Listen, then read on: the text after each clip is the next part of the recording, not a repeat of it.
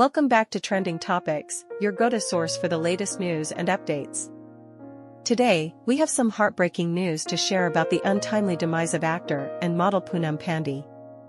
Before we dive into the details, make sure to hit that subscribe button and ring the bell for the latest updates.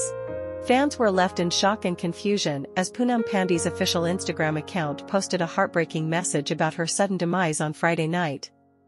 The post, shared with a folded hands and heart emoji, revealed that the 32-year-old actor-model passed away due to cervical cancer. The news sparked a wave of reactions on social media, with fans expressing shock and disbelief.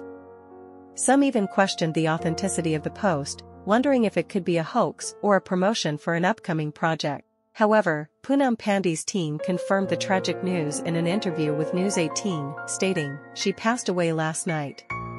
Her manager, Parul Chawla, also confirmed the news to ANI. Our thoughts and condolences go out to Poonam's family and loved ones during this difficult time.